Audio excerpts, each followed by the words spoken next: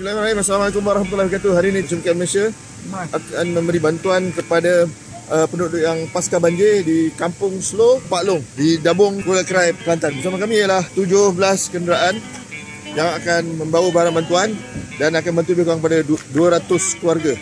So, dari sekolah harap kasih kepada penyumbang teruskan bersama Musikal Malaysia Bantuan Kemanusiaan Merantasi Sempadan. Allahu Akbar.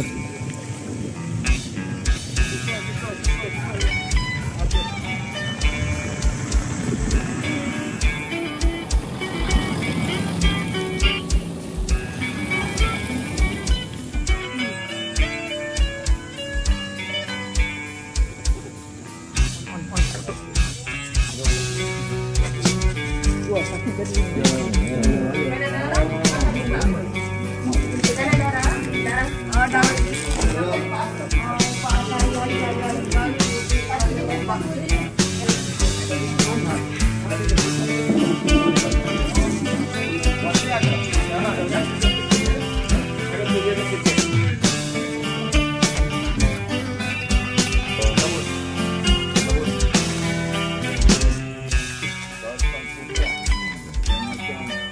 Uh, ucap terima kasihlah kau ada berhubungi hmm, Okey. ni.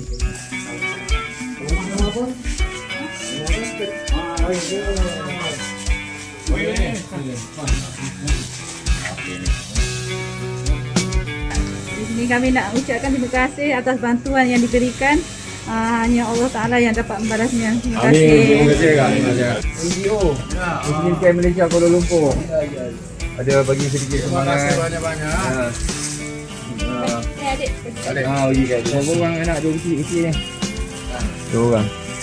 Terima kasih banyak lah mana ada sumbangan daripada NGO kan.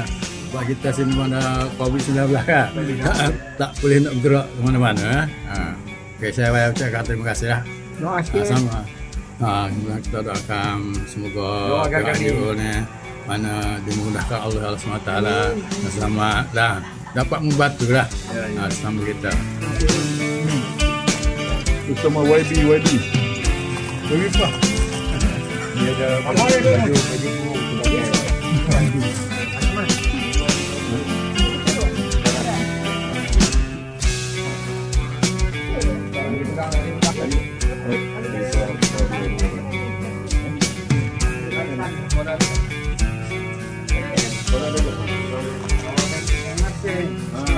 Alhamdulillah hari ini kita dah selesai memberikan sumbangan pasca banjir di kampung Slow Pak Long. Barang yang kita beri lah dapur masak, tilam tutu, beras, telekung, telekung eh, tak sembayang dan juga makanan, sedikit makanan dan pakaian.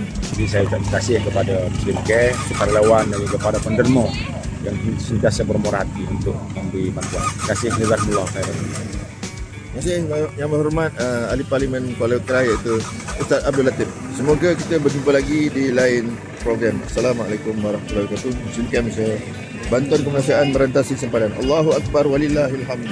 Okay, terima kasih.